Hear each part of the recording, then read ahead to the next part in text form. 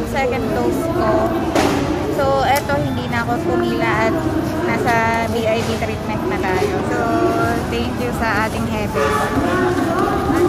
Second Eh, dose sabihin mo kay Juan. Asan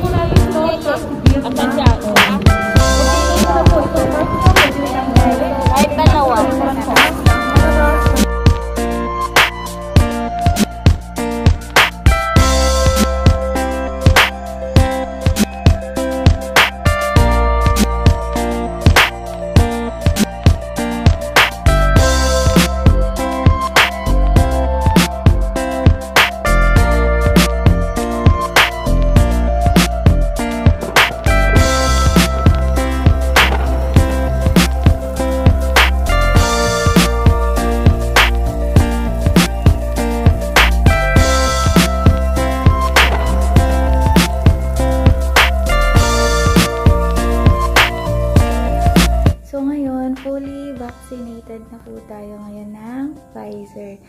So sa mga hindi pa po nagpapabaksin, yung mga walang comorbidities, ah, hinihikayat ko po kayo magpabaksin na kayo para din po yun sa inyong protection at para na din po magbalik na tayo sa normal life natin. Kasi ang hirap po na nagkakaroon po ng sakit. So huwag kayong matatakot. God is good, hindi naman niya tayo pababayaan. Tiwala lang po tayo. Magiging maayos din po ang lahat at magiging normal din po ang lahat. So, ang advice ko lang po, after po ninyo magpabaksin, mag-take na po kayo ng paracetamol. Pag nakaramdam na po kayo ng sakit ng ulo, agapan nyo na po na uminom ng paracetamol para hindi na po lumala yung sakit at mawala na din po agad sakit ng ulo nyo. Or kung may lagnat man or anything na maramdaman nyo pong side effect, at least hindi na po magiging malala yung mararamdaman. Mild na lang. At mag-iingat pa rin po tayo.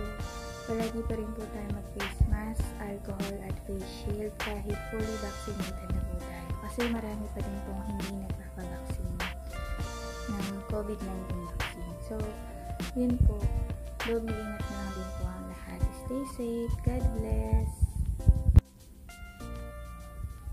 So guys, i-update ko po uli kayo after 3 days observation dun sa second dose ko po ng Pfizer vaccine. Thank you. Hi guys, good morning. So yung side effect ng Pfizer COVID-19 vaccine sa akin in 3 days. So, sumakit lang onti yung ulo ko. Mild headache lang siya. Then, wala na akong ibang naramdaman. Yun lang. Masakit lang din yung yung injection site. Pero, the rest, wala na akong naramdaman kahit ano. Basta, within 3 days, kung may maramdaman man kayong sakit ng ulo, mag-take agad kayo ng paracetamol para hindi na lumala yung sakit na mararamdaman ninyo. Yun lang. So, stay safe guys. God bless.